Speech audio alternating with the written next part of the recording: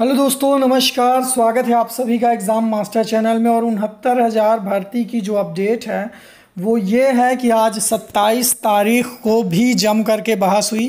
साठ पैंसठ percent passing mark इनके तरफ़ से ही आज भी कालिया सर ने बहस की, ठीक है, जो कि बीटीसी के वकील हैं।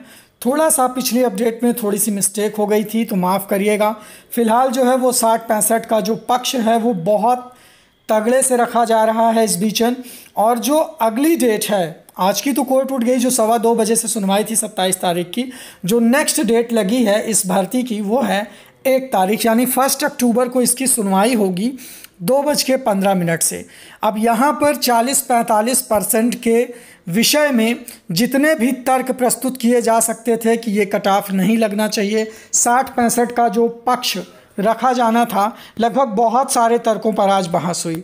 अब यहाँ पर कटाफ की स्थिति क्या बनती है, ये आगे आने वाले समय में डिसाइड होगा कि जज साहब को कौन सी चीज़ें ज़्यादा समझ में आती हैं और किस पर फैसला आता है सिंगल बेंच डबल बेंच जो भी है। वहाँ पर अगला जो तर्क है, वो यही दिया जा रहा है कि भाई साठ पैंसठ परसेंट की तरफ़ से अगर सरकार चाहे तो एक बात यह है कि अगर सात जनवरी को कट ऑफ़ रखा गया तो ये अनुचित कैसे हो गया? अगर यही कट ऑफ़ पाँच जनवरी को दे दिया जाता तो ये उचित कैसे होता? तो इन्हीं सब चीज़ों पर बहस चल रही है, और लगातार कोर्ट की अपडेट पर आपको एग्ज़ाम मास्टर चैनल पर मिलती रहेगी, बिल्कुल सही और सटीक। ठीक है?